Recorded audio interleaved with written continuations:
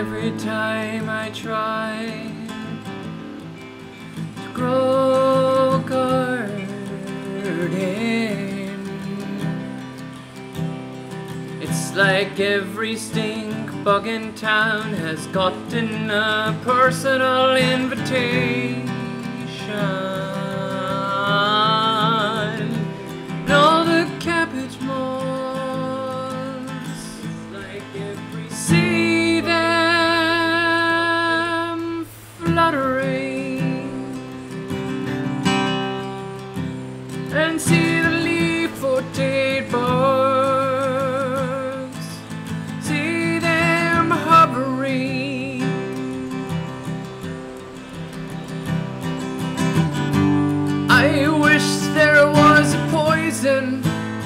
Could spray. I wish there was something that would make every single bug go away. And by go away, I mean combust in flames. But instead, I'm stuck with shame. All my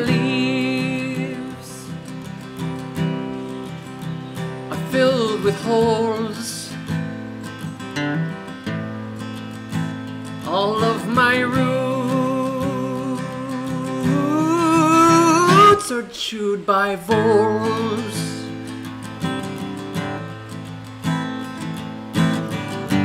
Please give me some poison that will make it all go away. I will spray.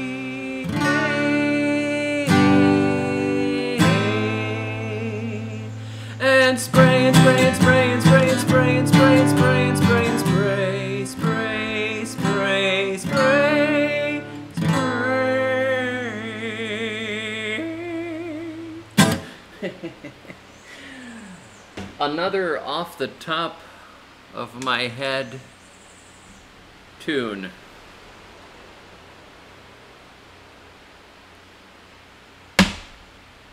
Ah, yeah, cold instant coffee. Coffee maker is at home, not in my office. So, therefore, I have cold tap water with instant coffee in it. I was thinking, if I were. Would somebody send me a super chat big enough to buy a second coffee machine? That's just. that is so dumb. But I want I want a Yeti cooler. All right. That's for you, Scrubland Avenger. Guys, it's nice to see you all. I, I, I YouTube has this YouTube has this new thing where they tell you when most of your views happen. And interestingly, most of the viewer activity is taking place around noon and at 9 o'clock at night. Well, 9 o'clock at night, I have to be out of this office. I can only stay here till 6. But around lunchtime, I'm here. So I said, well, all right, let's see if we mm, pick up a few more people today, see how it goes. Um, you know, if, if, if YouTube tells me something, I have to do whatever they say. It also says that 66% of you are male. And uh, judging by my past success with women, the other 33% are pretending to be female. Um, how you guys doing? Let's see who's here. Leaf, Oil Science, Kami Amini, what's up? Live streaming. Juan Acosta, hey. Kinjo51, Karen Hill. Karen Hill says can't hear yesterday's stream. I, I wonder why that is. Um, I didn't seem to have any trouble during the stream. Arkansas Woodcutter says, I'm trying to garden. Sowing for the future. Weird Steve Somniac just put out a video about getting rid of disease with whey. Yeah, actually, um, the, the lactobacillus bacteria um, will, will often get rid of disease issues, interestingly enough. So he, he, he knows what he's doing. Weird Steve, though. That's good. Hey, Mrs. Woods. Hey, Connor. Cabbage moths hit me hard. Yeah, cabbage moths, man. Give me a poison. Let me push the button on the cabbage moths. Gone. Danny says, happy Friday, and Ev, got the message. Scott says, kill it, kill it all with fire. Dan uh, Danny says, the deer are my biggest pest. They're really destroying my apple tree. We should talk about that. And uh, Arkansas Woodcutter says, it's Food Forest Friday. Every Friday we update our progress. Oh, that's cool. um, on your channel, if you have if you have a channel and, and people are not subscribed to it, please drop it and uh, drop it into the comments and I will approve it because there's like a spam function thing that doesn't let links through sometimes. So if you if you have a place where you're updating it, you know, we'd love to see it. Hey Carolyn, hey Hugh, Can X-ray you. Harry Farmer, how to make pest and disease problems vanish. Don't plant anything. That's good. Sowing for the future. Have I used some weird bacteria soup to kill fungus or pests? Possibly. On accident. Black Hole Sun, hey, welcome back. Lisa Lee. And Vicky's here. Got a lot of folks here today. Oh my goodness, man. Karen sends a $20 super chat for the new coffee machine Yeti Cooler Fund. You're just, you're just, I that was a joke. but thank you very much. I, I may have to just, I'll just have to buy one. Actually, it's gotten to the point, I have to tell you guys, it's gotten to the point where I have so many children, as the older ones have started drinking coffee, because, you know, what the parents do in moderation, the children take to excess, as a, uh, a guy once told me, which is totally ridiculous, but in the case of coffee, um, some of my older ones are now drinking coffee, and the coffee disappears really fast. I mean, I could drink half a pot myself, but then my wife is up most of the night with a baby, and so she could drink probably, uh, you know, at least a third of a pot, and then I have a teenage son that could drink three or four pots, not, not quite, but you'd think so by how fast his brain moves. Um, and then my, my daughter wanders around with a cup of coffee working in her flower garden, just like her daddy. And, uh, you know, so it's, it's pretty funny, but Oil Science, thank you very much. It's very generous of you. Oil Science has a $75 super chat. Wow. You know what? I think I think we just about paid for the office. Um, the office rent is uh, three seventy five a month, and I think through the last few um, streams, you guys have have made it worth it. So awesome! That's really cool. Vicky says no one should have cold coffee. This is I, I'm gonna go get one. I'm gonna do it. Thank you. I will do it. Wish I could invite all you guys here in person to have coffee with me. But thank you very much. It's, God bless you. It's awesome. Unbelievable. I just can't believe you guys sometimes. Today, as it gets later in the year, it's interesting. If you ever watch, um, I don't know if any of you guys, you know, if you have your own, some of you I know have your own gardening channels. Some of you have had gardening blogs. The garden blogging thing has dropped off a lot in recent years. I used to really love going and, and looking at other people's gardening blogs and doing a lot of reading online, but what's happened is a lot of them have just died or disappeared, or they've become spammy sites, or, or they haven't been updated in four years. Um, I mean, my site, thesurvivalgardener.com, is still going. Uh, I was posting daily for a long time, but now I'm down to about four times a week. it's still going. I had a really hard time there when I had to go up the mountain um, and, and work through my phone. I, I had to choose what I was going to do, and the, the blog fell behind. But you know, going to people's blogs and enjoying it, I noticed what, what happens is, particularly the further north you go, there's this huge drop off that happens later in the year. As it gets through summer, past the spring gardening season, there's a huge drop off in readership. Like, like the readership on my blog goes like this, saw up, down. So every spring it's like whoomp. Same thing with the YouTube channel, whoomp. Gardening channel, everybody's looking up gardening, and then crash. By later in the year, boom, like YouTube revenue is in half, blog readership is in half or less. Boom, boom, there's this sawtooth thing. And so um, being able to do the, the live chats and stuff and have the regular channel membership is awesome.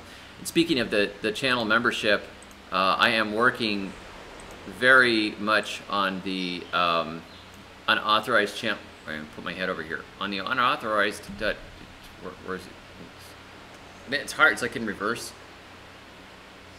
No, that's not right. No, not that way. There. Freeze frame. Gotta make my hair stop moving. Um, th there, right there. The the uh, unauthorized.tv channel. It's subscribers only, and that is the the best way to subscribe to subscribe and, and support outside of the YouTube infrastructure because we don't know how long all of this stuff is going to last. So um, we have an alternative server setup and everything that is basically demonetization proof. And uh, I have over 130 subscribers over there. I've got my house building videos and my long form Florida talks. And there's also other people you can watch over there, including Wranglerstar and comedian Owen Benjamin. And uh, there's Barcelona Life, where there's a there's this couple, successful retired couple, well maybe not retired, um, they sure seem to party a lot. Uh, that that go around Barcelona and show off cool stuff and cook chicken, things like that. That I'm totally not interested in, but a lot of people are. So it's kind of cool. It's like all these independent things, and they're coming into this um, this non-YouTube setup at unauthorized.tv, where people can do what they want without having to worry about being demonetized because it's subscriber system. And there aren't all the comments sections, which are, are very hard to moderate and maintain. But you can join me over there. Okay, so for hardware cloth for chicken wire, Carolyn sends a chicken tunnels. Oh my gosh, the chicken tunnel man. Yeah, I really, I really thought that was hilarious. um, Yasheshka Kila says gardening has exploded. Lots of people wanting to start a garden now. Yes, but there's a limited amount of time to get a garden started uh, at this point somebody asked me today if I would be interested in commenting on the folks that uh, created an autonomous district inside of Seattle. They have occupied the center of, of Seattle and uh, and the police have retreated and just left it to them and they've got like this SoundCloud rapper that's become their warlord. I mean, it's it's just like it's like you can't even write sci-fi or dystopian fiction anymore. It's happening. But anyhow, um, they, they, they showed me a picture of the gardens that they're doing, and they're like, this looks so dumb. But then somebody else said, no, that's uh, this is over on Social Galactic. Somebody says, no, that's that looks like David the Good style. And I'm like, yeah, look at that. Those anarchists are planting gardens like I would plant. wow. So they've got they've sheet mulched this area and they've dumped a bunch of stuff on the top of the ground and they've planted some things. I don't know. I don't know where they got the plants. It looks like they have transplants from somewhere. I don't know. They were probably brought in on helicopters from from Russia, Russia, Russia, or something like that. I don't know. But anyhow, I, I, I said, that looks like it'll work to me. I mean, I'm just a gardening guy. I'm not going to get into the politics of all that stuff. Um, but uh, yeah, hey, plant gardens, man. If you manage to take over six blocks of a city, um, plant gardens on it. Cool. I'm, I'm happy about that. Chaz, that's right. Um, it's not Lord of the Flies until they spear a pig.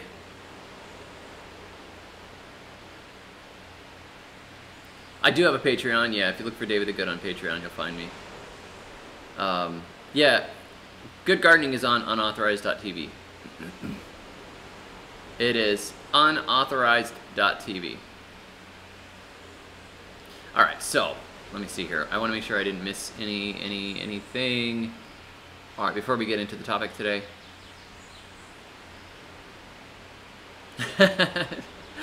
Make my pest and disease problems vanish. Alright, so what do we got here? Capitol Hill Autonomous Zone. Yep, that's it. Send Jack Broccoli to Seattle. Grow some turnips. Thank you, Oil Science. God bless, man. Have a, have a good rest of the day. I got this rash that's been going on for two weeks. What should I do, David the Good? um, Go buy some yogurt and put it on there. That'll get rid of it. A couple of days. Put yogurt on it regularly. The uh, lactobacillus will clean it out. Um, what do you got here? They got a cow. Good for them. they're gonna get in a fight between the. Uh, they're gonna get a fight between the vegans and the people that want steaks.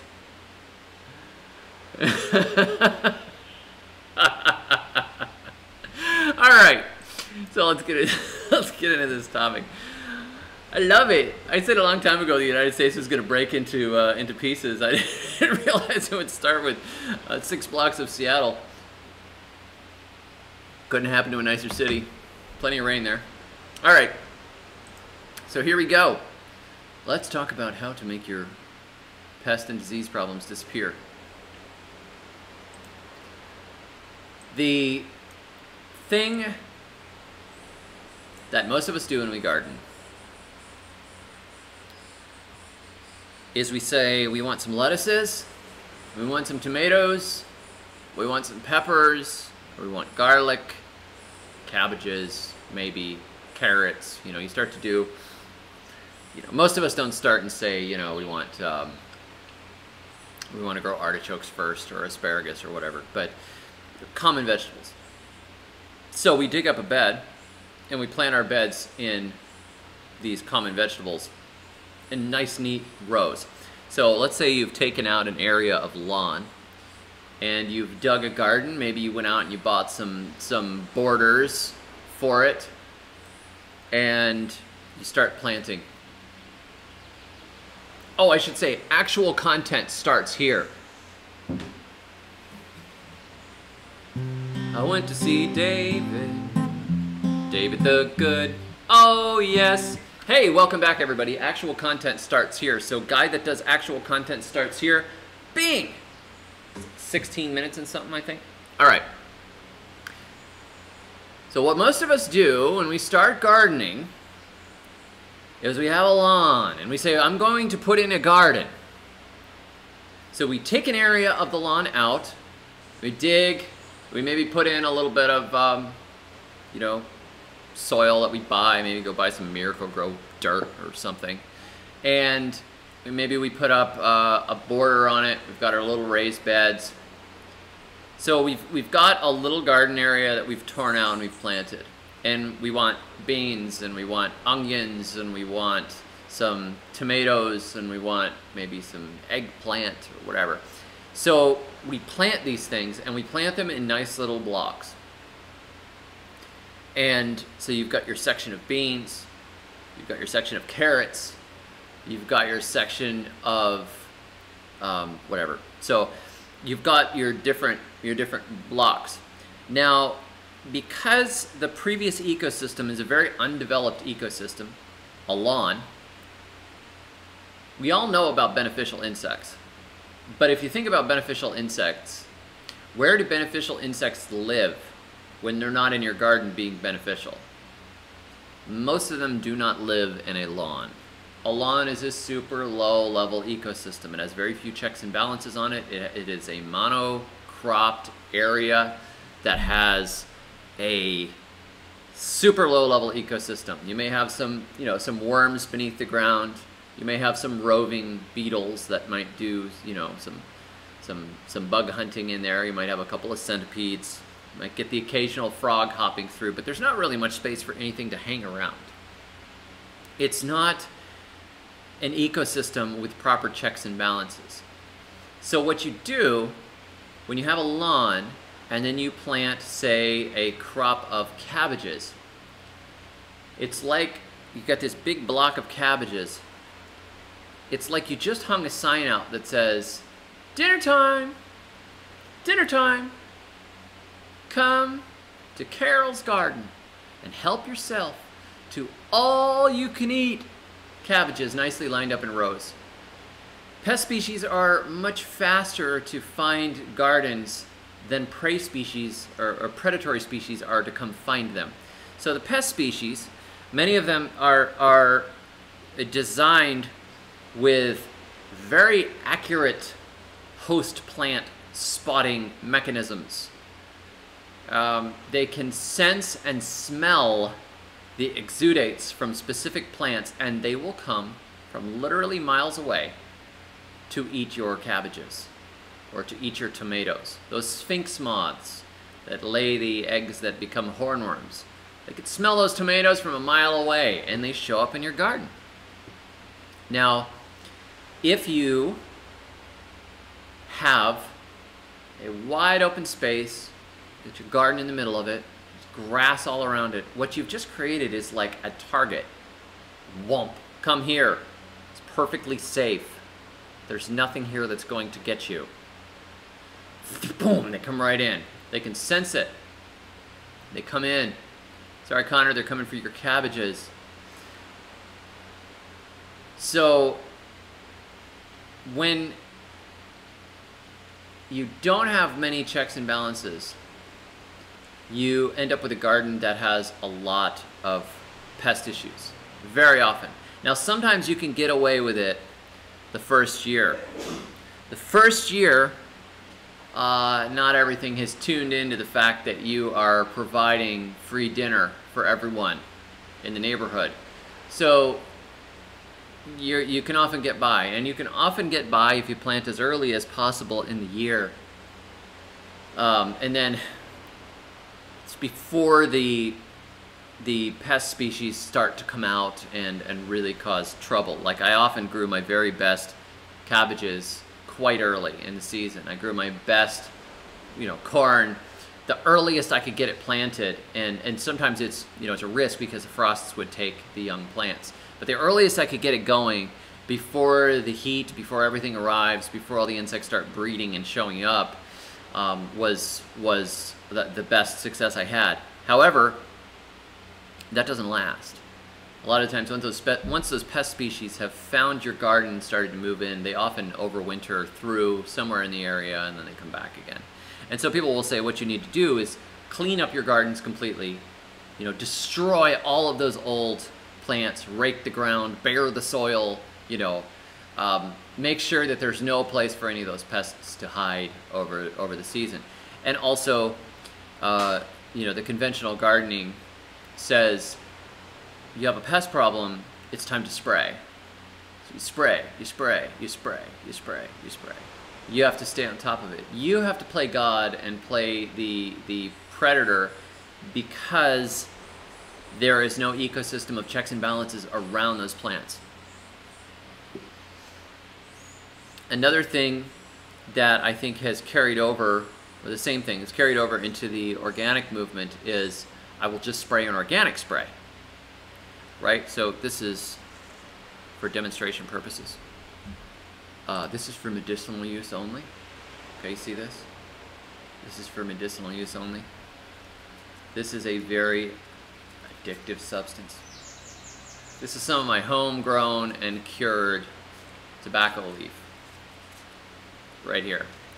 Tobacco makes its own insecticide. It doesn't work on everything. There are insects that can eat it. But on a lot of species, the nicotine inside of this right here will wipe out insects. So, you know, in my, in my one of my books, two of my books at least, I have my recipe for nicotine insecticide. You can go get some tobacco leaves. You could take some old cigar butts. You can take some pipe tobacco, whatever. You boil it and you make a, a thick brown tea out of it. You just make a, make a tea of, of nicotine and you put a couple of drops of soap in it when it's cooled off, stir it around, put it in a sprayer. You can go out to your garden and spray the aphids and stuff with it. Now, the, the first day, the aphids don't usually die. You don't, I mean, they don't die right away. Like, you spray them and it's like, hey, they're still going. But they will die. Um, they, they kick off pretty fast with that stuff. The nicotine is strong and potent. So the, the organic people will say, well, we're just going to spray organically. We're going to use neem. We're going to use garlic. We're going to use hot peppers. You know, you've, you've probably heard of all these things. These things will drive it away, or they'll be like, there's an essential oil for that. There's an essential oil. I like to use essential oils in my garden. And in my garden, I have, well, I have a blend of essential oils. I use thieves oil. I use uh, assassin's oil. I use whatever. So they, they like they have this. I, I need to make my own spray, but this is going to be an organic spray. But they're still spraying. Why? Because they have to play God in the garden. Because there's no there's no checks and balances that are taking place. So the checks and balances, once they get in and they start running, um, will take care of a lot of those issues. But how do you get to the point where you have checks and balances? Well, I'll tell you, if you spray, if you spray what often happens is by the time you noticed a pest issue, you've noticed a pest issue and you've started to you respond to it. It's usually a, a, while after the eggs have already been laid, the nymphs have emerged, or you know, and, and, and it started to become a problem.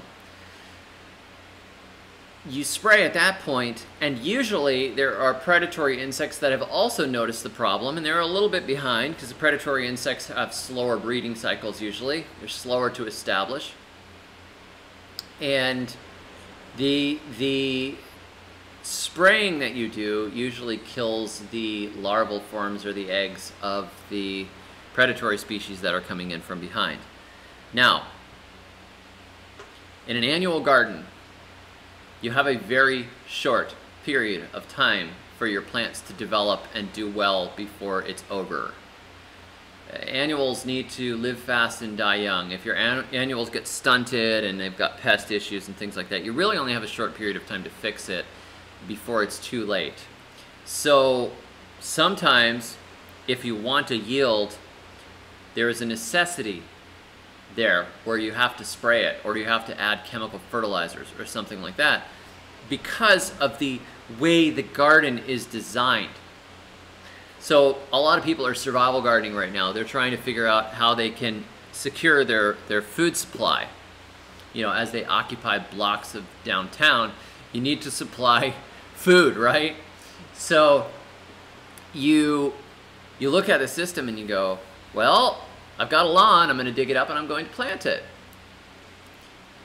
There's nothing wrong with doing that the first time. I don't even think there's anything wrong with going and getting Sevin dust or chemical fertilizer if you're in a position where you just need food fast. Because in a, in a situation where you're trying to feed your family right away, or you're not sure how things are going to go, and you don't have enough calories, and you don't have the learning curve, and you see a bunch of pests show up, if you have a philosophy of, well, nature will take care of it, and you just let the stuff die, you don't get food. And you know that the food you've been getting from the store has stuff all over it anyways, right? And probably nastier than what you're spraying in your backyard. But that's not the ideal situation. You know, I mean, ideally, you're not stuck in a lifeboat and have to draw lots to see who gets eaten, even though that happens occasionally and people live through it and they got food. That is that is far from an ideal situation. Of course, that's way way, way beyond, you know, spraying your cabbages. But you know what I mean. It, it, there, there are extremity situations where you do something that is really not advisable. Uh, and then there are situations where you get a little more time to plan and a little more time to think, and you create systems that work much better. So the first time you put a garden in, right? Maybe you have a little garden bed and you just use the hose and you go out there and you water it with the hose. Well, the next year maybe you put in four more garden beds and then you're still watering with the hose. Well, the next year you're like, man, this watering with the hose thing takes way too much time. So you put in a couple of sprinkler heads, problem solved. Now that, that would have been a great thing to do the first time you had a garden because it's so nice and easy, but you didn't do it then because you're, you're, you know, you're working up to it, right? So I will not say, oh, you have totally sinned against our mother, the earth, because you use 10-10-10 and Sevin dust and DDT and, and nuclear waste to get rid of the pests. No, you are forgiven. You just need to get food. You need to get food. You know, because it's what Maslow's hierarchy of needs. You've got food. So, you, you, that's not what I recommend. And so you could easily take me out of context and just take that little clip and say, you know, David the Good says we could use nuclear waste on our gardens. David the Good is an evil man. David the Good should be called David the Bad. I hate him. He's stupid, and his hair is stupid, and he doesn't look like one of the riders of Rohan, no matter how much he tries to grow it out and save Gondor. I'm sorry. I'm sorry. I'm sorry. I'm sorry. I'm not sorry. Ideally, Here's how you make the pest and disease problems disappear. So we've, we've covered a lot of the problems here. You don't have the ecosystem. You've got you know, your spray cycle is not necessarily matching up to when the predator cycles come in, but you need food quickly. You want food to produce well. You've planted a normal garden, you put it in blocks, you've got it out in your yard. Now, what I noticed was that when I first put gardens in at my land in North Florida, I had more issues. I had problems with cabbage moths. I had problems with uh, bud worms getting in and eating the, the tobacco seed pods on my tobacco. I had problems with, um, with hornworms showing up. I had serious problems with stink bugs and leaf-footed bugs. I had ridiculous amounts of disease issues in the gardens and pest issues in the gardens. I had, uh, I had the, the wilt, you know, on my pumpkins, and all kinds of stuff like that. That was the first year. It had been a weedy lawn, it got torn out, and I started planting. But then, as I started to design my, my gardens more in line with permaculture principles and with, with, with a, a longer term ecosystem in mind, I planted a couple of beds of perennials right alongside my regular garden beds. Now, when you when you think about perennials in in the backyard, I'm I, am i am not talking about planting a row of azaleas. There's nothing wrong with planting a couple of azaleas in the garden, but they're if you plant a row of azaleas, then you've got another, uh, uh you know, little monocrop of azaleas. Not like that. Here's what you do. There's a bunch of stuff you like. There's there's there's there's all kinds of cool plants that you like. There's lots of cuttings that can be shared with you from different people, different gardeners. Um, seeds, cuttings. You don't you don't have to go out and spend a bunch of money to make this bed. But, here's what I would encourage you to do. This was a big pest reliever in my gardens. So first, pick a bed somewhere in your gardens and say this is a perennial bed. And then plant a couple of small fruit trees in it, like apples like an apple or a pear or whatever, right? That's your, that's your high canopy. If you're in a more tropical climate, plant a banana or two. Now, these are just for extra food in the space, but it's also for a long-term hiding place, a source of leaf drop, and some, some nectar in the spring. I planted a pomegranate and a Japanese persimmon in mine. And then underneath, this is only a four foot wide bed, right? It was like a four foot by 12 foot bed I planted at either end a little, a little tree that I kept pruned.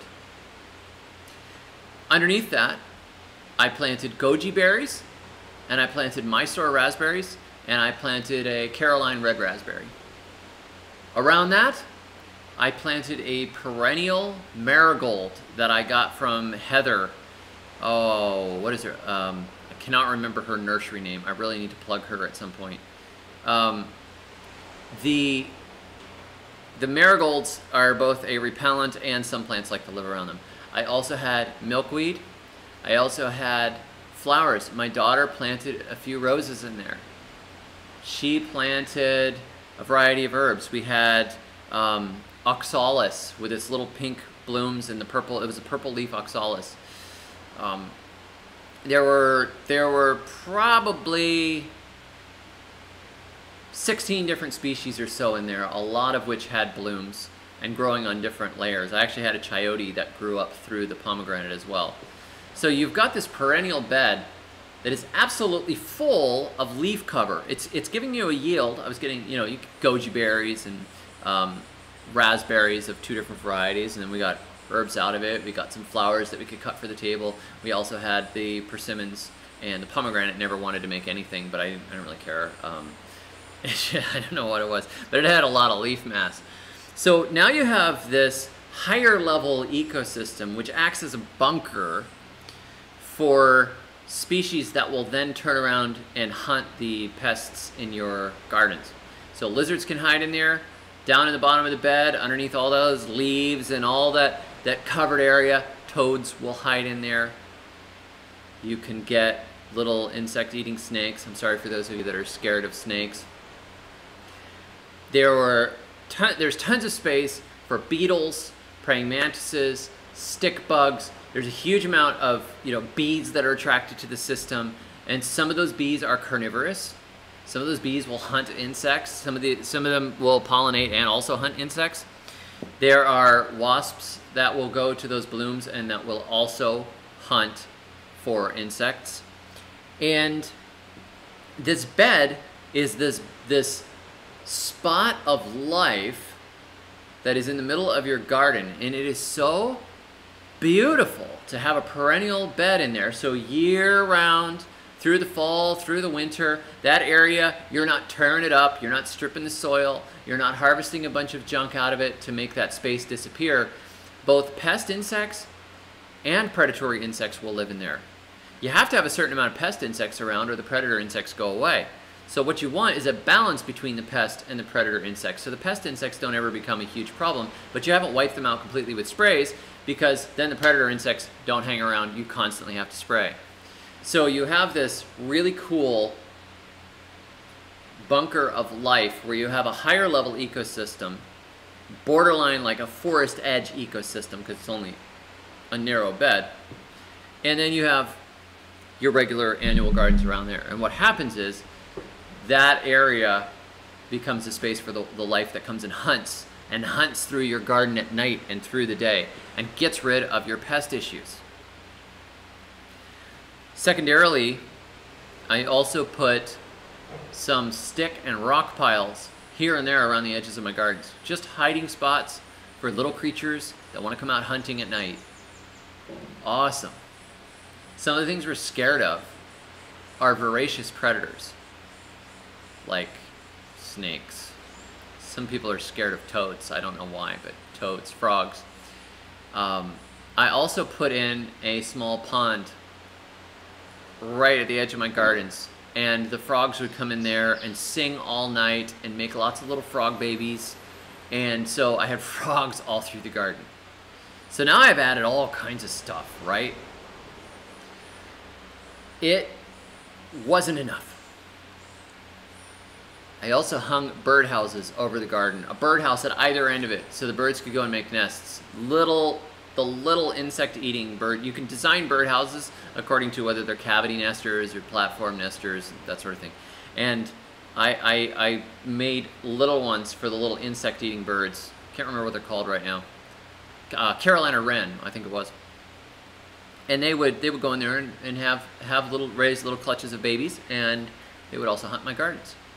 But that wasn't enough. I also added Insect Hotel.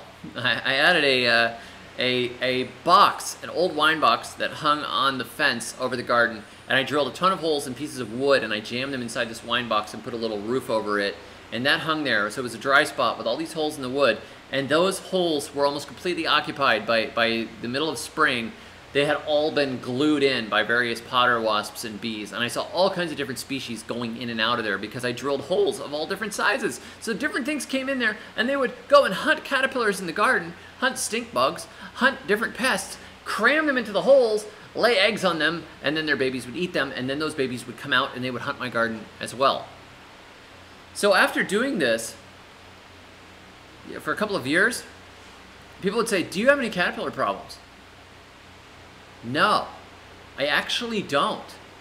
I didn't have caterpillar problems. Still had some issues with uh, stink bugs and leaf-footed bugs, but the way I beat the stink foot, you know, stink foot bugs was I, I actually planted a little earlier in the season, and they still weren't the problem they had been earlier on. Everything starts to balance out. And I also figured out, you know, once you get this ecosystem in place, you also mix up your crops inside of your, your beds. So if you have different layers of crops and different things growing around each other, this is not easy for those of you that are market gardeners or want to, want to do farming. There's a reason that a lot of stuff gets planted in banks. It's because harvest comes at the same time. It doesn't require you going out and grazing. If you have really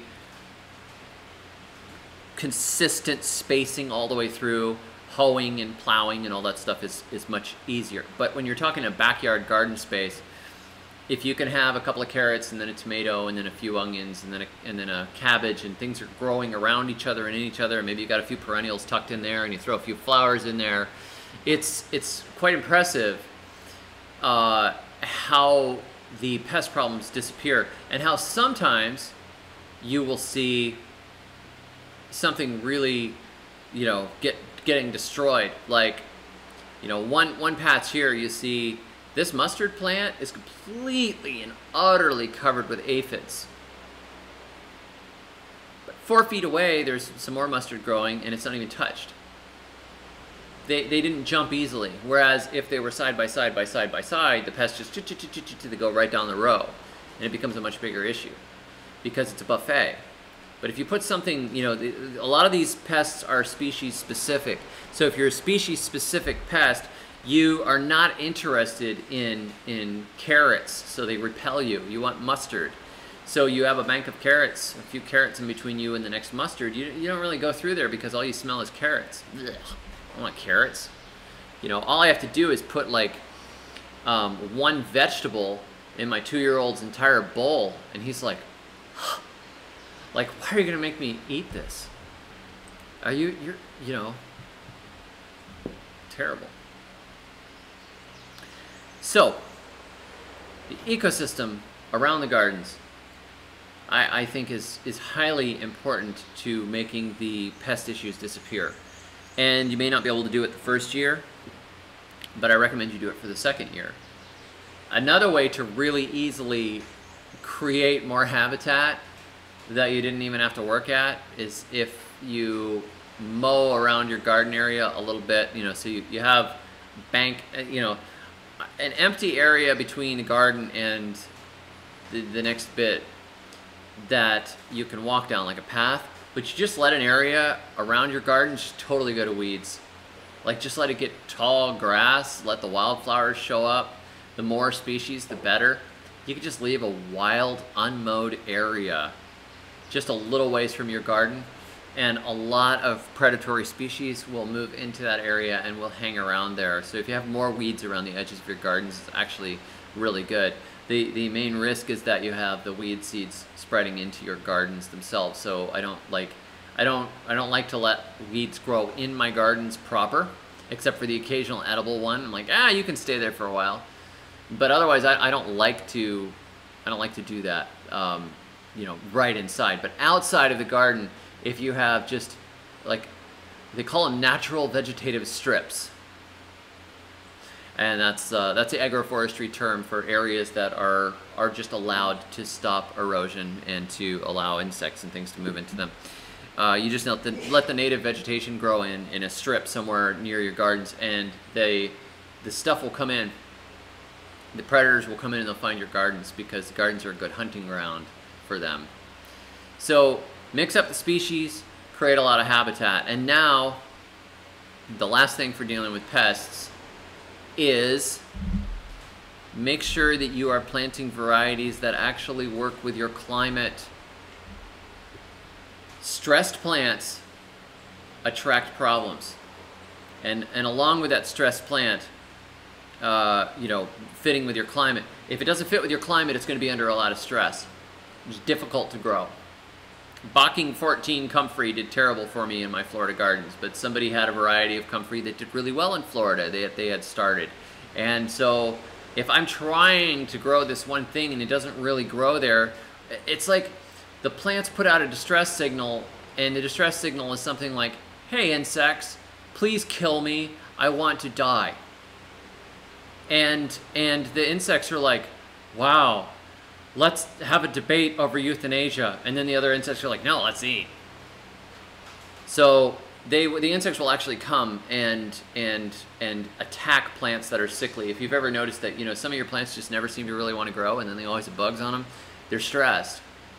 So if you plant plants that actually work well with the climate, if you have a really hot, humid, nasty summer and you try to grow beefsteak tomatoes, sorry, Everything's going to come and eat them. They don't even want them to be there. You don't belong.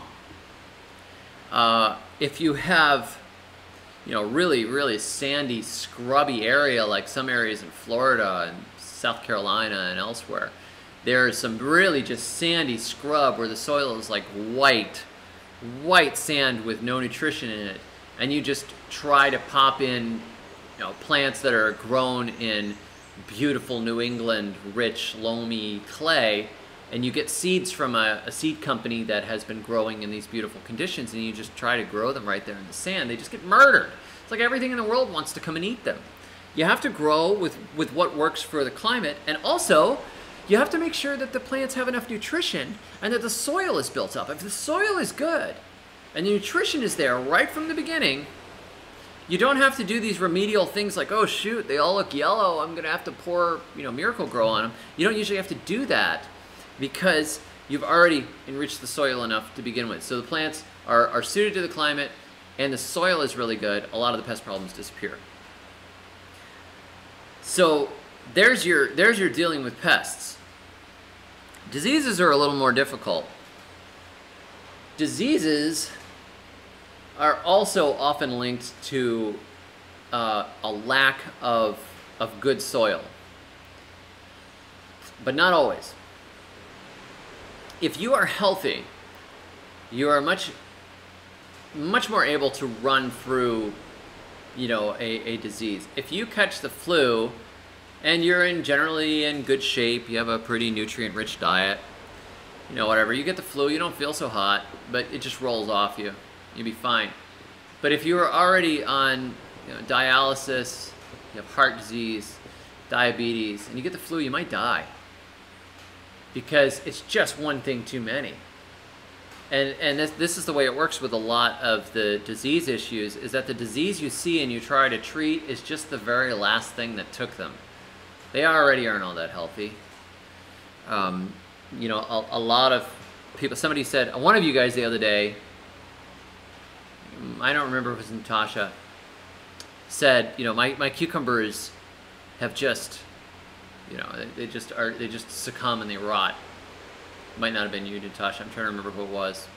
But, you know, if you're, if you, if you try to, you know, try to get your cucumbers to grow through a hot and humid patch, it's done it's it's like they they get all covered with that white mold and sometimes the fruit will even rot right on the plant.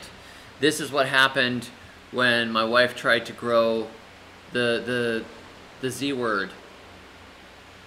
They rotted. They just like they just rotted on the plant and the plant got all kinds of disease issues pest issues and then they died. Of course they also knew i hated them so that that didn't help.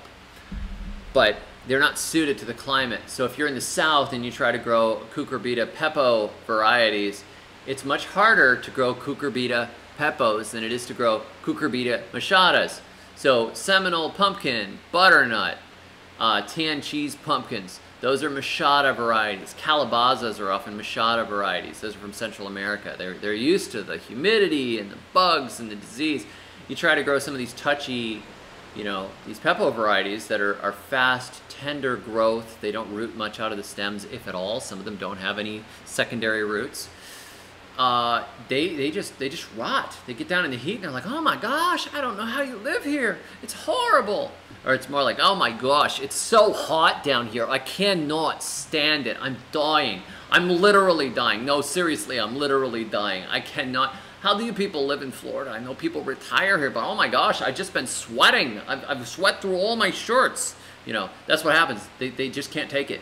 They, they come down from up north and they're like, oh wow, hey, you know, hey, I, I, uh, I, I, I'm just gonna go over here and die now, cause, uh, you know, I'm from Ontario.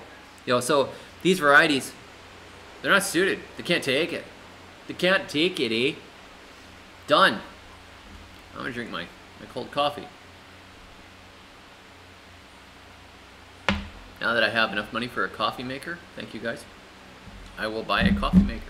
I can't believe it. Wow.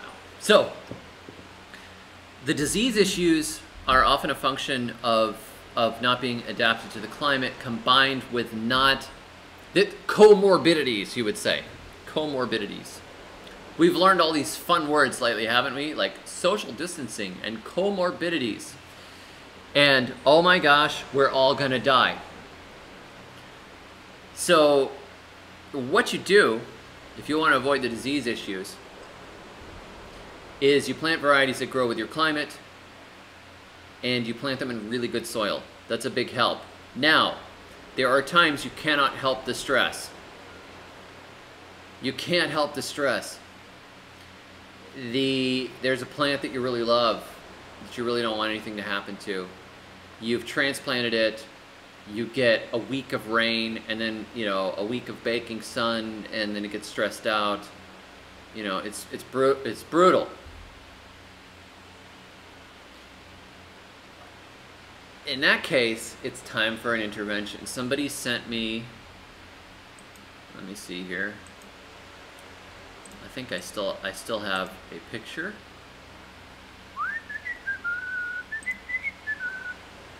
Let's see. If I can find this for you, I will drop it in.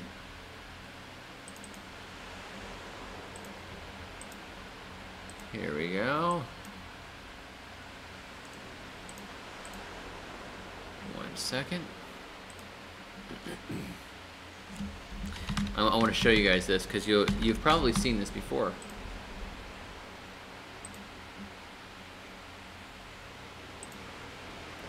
All right, I'm getting there. All right. So slow.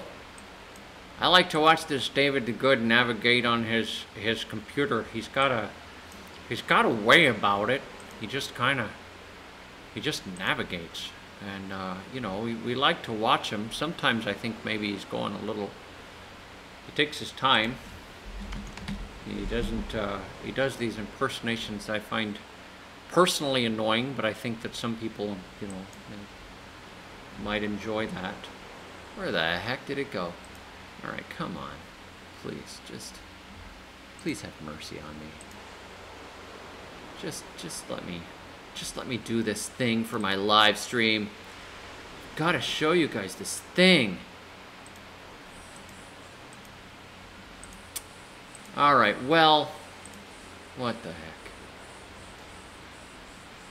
I don't seem to have it. I had a really um, good picture sent to me today. Come on. You can open. Computer's really draggy. It always does this during a live stream. Draggy, draggy, drag.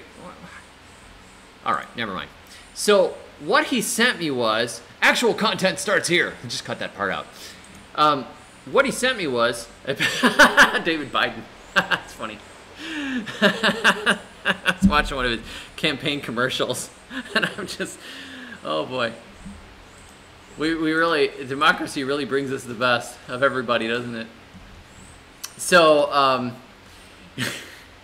so he sends me this picture of these spotted pear leaves and says, "What can I do? You know, what can I do with these pears?" And I'm, I'm looking and going, uh, "I've seen this before. This often happens when the rain really starts falling. It leads to a condition in which pears are not happy."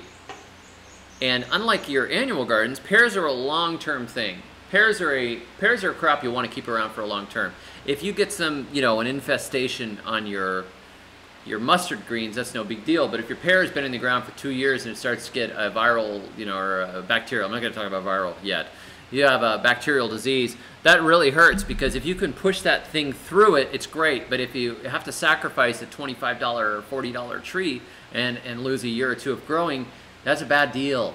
You don't want that to happen. If you lose a pak choi, who cares? Chop it up and throw it in the compost you know, you, you paid pennies for the seeds or maybe 50 cents for a transplant. Okay, it's not great, but who cares?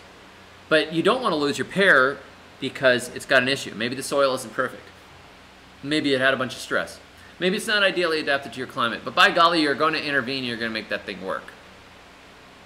So what I recommend in, in cases of you know fungal issues and some of these bacterial issues and things is that you can go ahead and spray them to get them through it. Copper sulfate is really good for um, a lot of these fungal issues. You get these little fungal spots all over, and, and, and that will knock it out. Copper sulfate is not that nasty. It's useful. Useful fungicide. Don't use too much of it. Use it according to the directions, and don't drink it because it's it'll it'll kill you. Maybe turn your blood green. I don't know. So you you go ahead and you just spray it because you wanted to get through. That's fine. Or you could do what, you know, Stefan Sobkowiak does and say, I'm going to spray it with whey. You know, you're going to do the organic intervention. You'll use, uh, I've, I've had good luck using diluted kefir or yogurt in rainwater and spraying plants that have, uh, you know, leaf issues and stuff. It works. And I would say, you know, don't just let it die. But at the same time, I would also say, how can I make sure that this tree is stronger for next year? Sometimes if you overfeed, like you give, give a tree too much nitrogen, it will put on a bunch of lush growth really fast and it makes it really tasty to insects. When I gave my a bunch of my citrus some fertilizer, like commercial fertilizer at the recommended application rates that the groves were doing it, holy moly, they grew really, really fast. But they also ended up with a lot of aphid issues and other and other things. They grew fast, but then it brought in other issues because it was faster growth than the plant would normally, you know, be able to do. So what you do is you feed that soil. You give them lots of micronutrients. You can give them kelp meal, azomite, give them all your compost, give them give them uh, a good layer of mulch so you've got a huge range of different fungi in the soil around them so that the fungi start to balance spray them if you need to spray them, but, but the more of an ecosystem around them, the healthier the soil, the less the diseases become a problem. And sometimes things just keep getting hit again and again and again, and you just say, that's it, I'm done, you're going down, and another plant is going to take your place. Somebody sent me a, you know, a picture of their mulberry tree with all these ring virus spots on the leaves, and I said, destroy it right now before it spreads just cut the tree down to the ground, you know, light it on fire, burn it, it's done. You don't want that to spread to the rest of your system. Some of these viral diseases you just can't get rid of. That, that sort of thing happens occasionally. But a lot of the bacterial and the fungal issues you can you can work your way through. I had pear trees in Tennessee and I had to do a serious intervention with fire blight because it started to spread. We had a long rainy season and and the spring was really rainy and, and we got some spotting at the top and it started to spread down the tree. And that fire blight will spread its way into the middle of the tree and kill the tree if you don't intervene. So, a friend of mine came over and the two of us had our, our you know, alcohol out to sterilize the clippers and the saws and we cut our way through those. He just said, David, I'm going to come over and help you. I know that's a big pain in the neck. I'll come over and help you.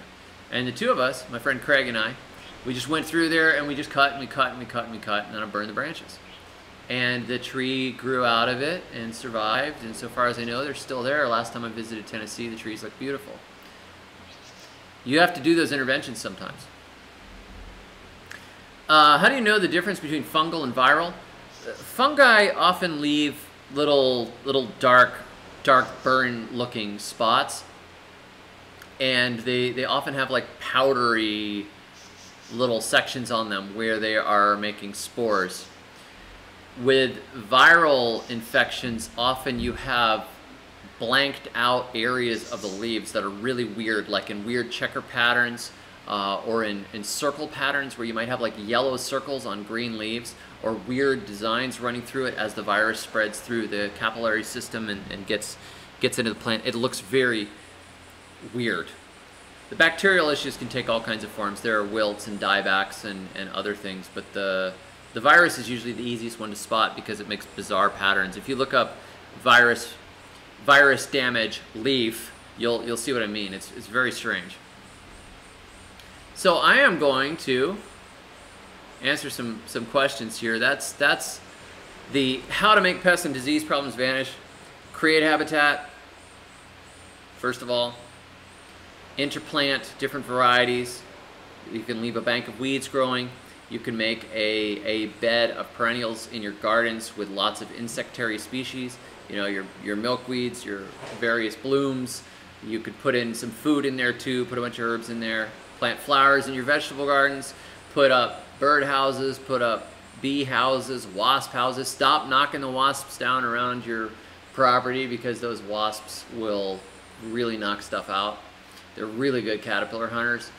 Uh, and then when it, it, make sure that you have the best soil possible. Make sure that you feed your plants as well as you can. Make sure that uh, you are not just going out and spraying all the time and, and knocking things out because you often take out the predators as well. Don't worry so much when a few things die, just compost them. Make sure that your plants are adapted to the climate. Make sure that you are feeding and making your plants as healthy as possible so when a disease does hit, they can get through it, hopefully. And then intervene if you absolutely have to. But generally, you really won't have. I mean, I had so few issues in North Florida after a few years of creating habitat. I didn't even worry about diseases and pests anymore. The only thing I killed and kept killing was fire ants. And that's just because they're from hell. So, I will take some questions. Uh, way up here, we had a question about deer. The best answer to deer is to exclude them with a fence. It will be worth it. The second best thing to do is to, uh, if you have dogs, the dogs will chase the deer away. I don't like to have to maintain dogs, and I find dogs will wreck your gardens a lot of time unless you train them well. They tend to stomp on everything. But if you have a couple of dogs, they'll keep the deer away. So if you have dogs already, you know, keep them out at night where they can get the deer. And uh, but the best thing to do is to exclude them from your gardens altogether.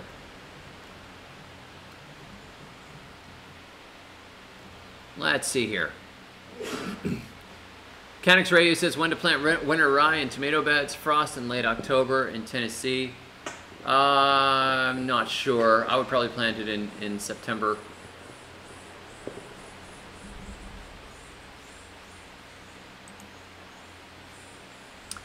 Brent sends a uh, $5 super chat and says, about a quarter of my five to six foot tall corn plants were knocked down by a storm. Is it worth trying to stake them? Yes. If you can get them to go back up, sometimes what you can do is, is uh, stick a couple of stakes up for support and then kind of make loose loops around batches of the corn so they kind of hold up together. So you don't have to like stake in every individual corn necessarily. Sometimes you could just put a couple of strings on stakes and, and prop them back up that way. Trying to stake every corn plant is, is really a pain in the neck. But this is a problem with corn, particularly if you have storms and, and wind. Sometimes people actually go by and, and put more soil around the base of all their corn later in the season, kind of plow through and push push more dirt on it to just in case there's a storm. But if you're not prone to normal wind, it's it's too much work. But maybe put a you know a stake at either end of your corn bed and put a string on it, pull it real tight, you know, and make sure that corn goes back up inside there. It helps to have two people do this, you know, prop it back up. That would be my recommendation. I would try to, I would try to stake them. I wouldn't want to lose the yield if I could, if I could help it.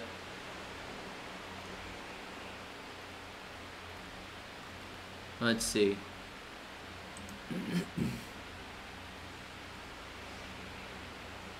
Chelsea says, pest and disease with the water pond too, please. I, I'm not exactly sure what you're asking.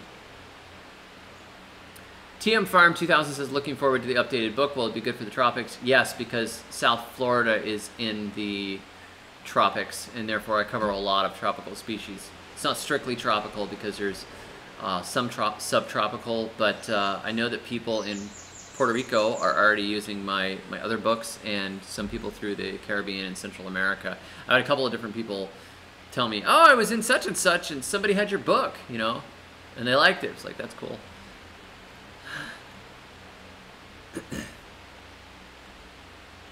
Let's see. Our gentleman says, I want to make a t-shirt that says, shovels don't kill grass. I kill grass. That's good.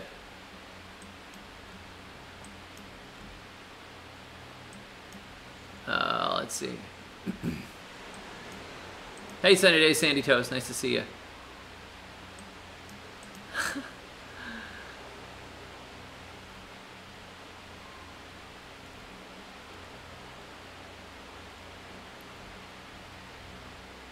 Kinja51 says, I've been spraying a combo of peppermint oil with a touch of uh, suds, salts, salts, suds, into a spray bottle, applied onto the tomatoes. This and those predatory wasps seem to be the winning combo. Good to hear.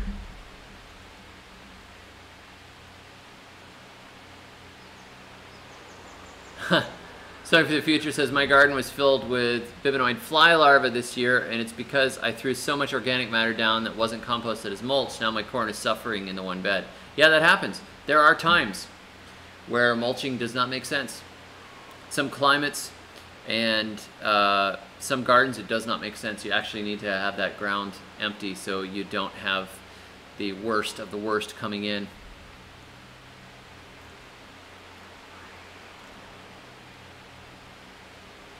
Lauraful says the ants always take care of the aphids. Yeah, if you eliminate the, the ants, actually the aphids go too, but generally I, I don't bother. I just, uh, I just keep, keep making space. I'm going to post a, a video very shortly here. I just finished a garden tour, 25 minutes going through the garden, so you can actually see how I'm intercropping and interrelating. It relates very well to today's, today's uh, stream. So you can watch that this afternoon. I'm going to put it up uh, probably be up by two o'clock, and I think I'll do a premiere.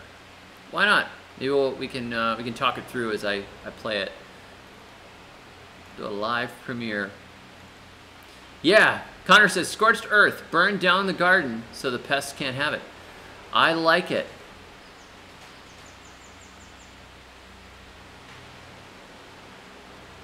Is this where permaculture applies? Yes.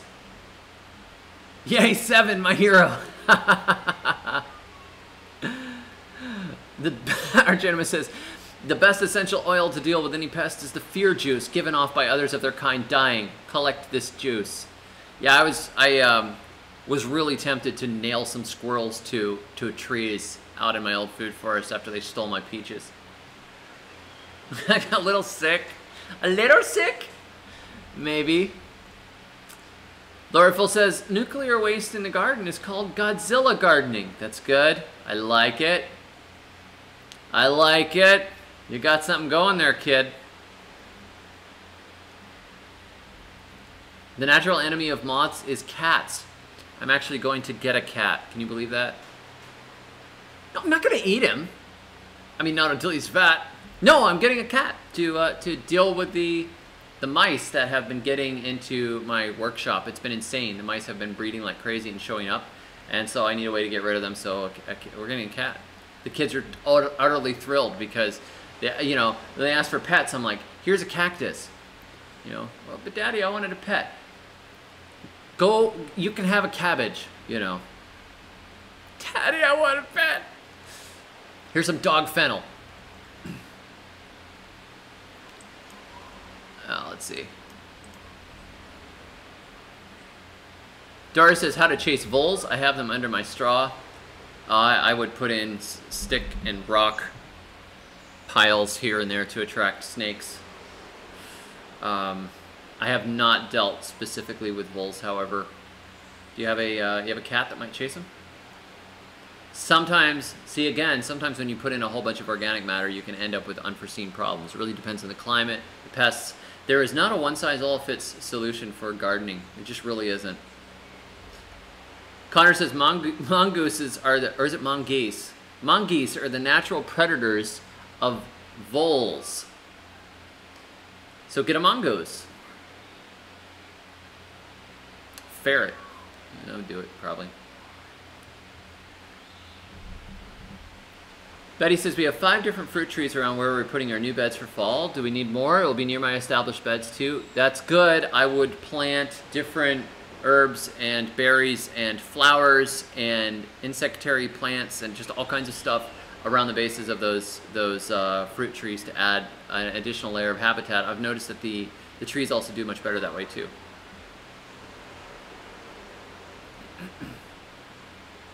Hey, Mustard Seed from Michigan. Hey, One Day at a Time from Florida.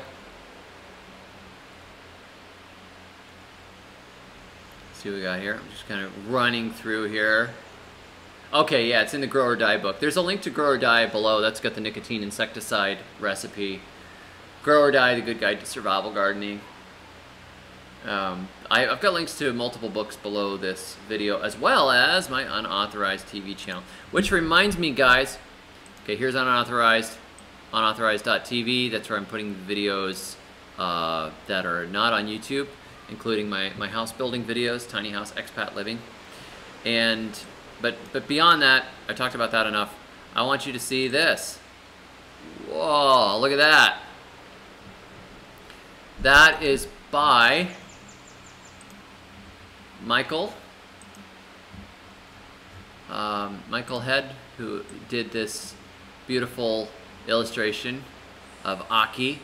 This is an illustration for the new uh, revised, expanded, massive second edition version of Create Your Own Florida Food Forest. If you are an artist, I am taking submissions for the book. The book is not going to make enough money to actually pay any artists, um, but I am going to give credit to any artist that feels like submitting. If you have an, uh, some artistic talent and you would like to submit a uh, some art to the book, I, I just I just love this sort of thing. I've already got four artists I think that have have signed up at this point, probably more now, that uh, are going to contribute. I need over a hundred illustrations of different plants, and I was thinking, wouldn't it be fun to just have different artists do their own interpretations of these various plants? And so the book becomes not only this really in-depth guide for creating Florida food forest ecosystems, but it becomes an, an art book where you can look through and be like, oh, cool, that's Michael's, and oh, cool, that's you know, my daughter submitted one for this, and my you know, that's my it's my my son-in-law did a pen and ink for it, and and there, hey, there's my there's my drawing of this and the other thing. So I thought that's just so cool. I mean, it's see, we can do these things that normal publishers can't do. I, I have an independent publisher that is so good with letting me do cool stuff what publisher would ever have published Turned Earth, a Jack Broccoli novel? Now, I could have self-published it, but the publisher has the resources to lay out the, the book design and do the really cool covers and, and all this stuff. So we've got like pro level publishing, but I could be totally artistic. I could be like, you know what? Hey, we'll get 20 different artists, 25 different artists, 30 different artists putting in drawings, black and white drawings, to this book.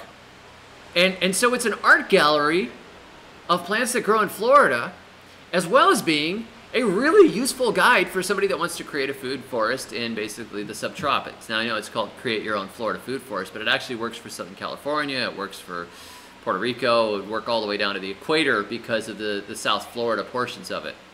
So it's specifically Florida, but it's also it's just it's this labor of of love. You know, the the old version uh, is just fourteen thousand words. This one's gonna this one's gonna surpass sixty thousand words easily. So it'll be at least four times the size of the previous version with all the illustrations, and it'll be it'll just be absolutely beautiful. And I, I have already done some of the illustrations for it, and I have illustrations that I completed previously. But with the different artistic styles going in there, got different people doing it, it's just so cool, right? So I'm, I'm completely psyched about it. I think it's a really cool idea. And, and what I'll do is we'll have an artists section in the book where anybody that has submitted a, a drawing, I'll put their website in and their, their name, and everybody gets credited next to their drawing. So it allows me to gather a whole bunch of, of cool art for the book, but it doesn't like, there's no way I could afford an illustrator for this book. Like, it won't sell enough copies necessarily to be actually worth doing it. I would just draw it all myself, and originally I was going to draw it all myself. It would have taken me months. But if I have 20 different people doing a few drawings each, boom, there we go. So, um, you know, there, there we go. if you guys are, are if, if you uh, are an artist or you're interested, um, email me, david at floridafoodforests.com.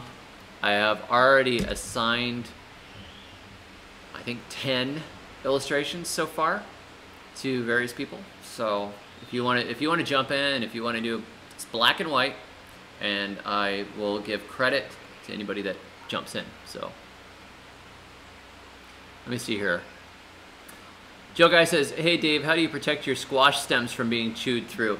That is one of the worst. There is a there is a pest called the, the vine borer, which is one of the, the very worst pests of squash. It tends to appear a little later in the season. Now, if you grow varieties of squash that root readily from the stems, so bush varieties, no, don't grow those. Uh, bush varieties, if you have vine borers, will just simply die because the bottom of them will get hit and they'll die, and it's over. It's over. It's dead. Another thing is don't grow your squash on trellises because squash have this they have bulkheads basically they can root at each one of those nodes along along the vine so if they're that variety uh, you know they crawl along the ground let them crawl along the ground and I would even throw a little more dirt over the nodes so they root faster. You know if there's a lot of grass and stuff you know drop a lay a little piece of stick on top of some of the pieces and just pour a little more dirt on the vines because they'll root wherever their the nodes are touching the ground. And this is very important to avoid the destruction because if a vine borer drills into the stem somewhere along there. And the stem doesn't have any more roots in the ground, it will die from that point all the way to the end. But if the squash has grown part way and then it's and it gets drilled, but it's also grown into the ground in multiple spots, there's all this redundancy of different areas that have rooted down the vine, you won't even notice. Yeah, sure, it destroyed that piece of stem, but there's so many other roots on the vines that it survives. So really what it is, is trying to make sure that your squash vines root as much as possible along uh, as they grow. Make sure that they have areas that they can root into readily. And that's how I get around them. And some varieties are more resistant than others. Like the Seminole pumpkin is really resistant, and that's a good southern variety. Further north, there may be other varieties that are resistant. Um, but the, the what you want to look for is squash varieties that really root readily along the stems so you get that bulkhead approach. And don't let them climb bushes, don't let them climb the fence, because anytime they get hit, whatever area above that that doesn't have any roots, you will lose. It's dead, chewed up. Uh, if you really are worried about a particular variety you're trying to save, you can also use neem oil and spray the, the the lower area. It, they almost always hit them in the first couple of feet of vine. So you spray that area with neem oil like once a week, diluted neem oil, and the plant, apparently the plant actually takes the neem oil up into it and becomes less attractive to them.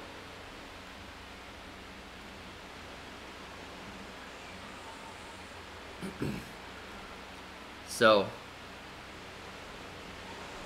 yeah, I think the, I think the book illustrations, uh, crowdsourcing the book illustrations is just really cool because a lot of people can contribute and they're they're going to be commemorated forever, you know. And uh, I just think it's I just think it's so cool.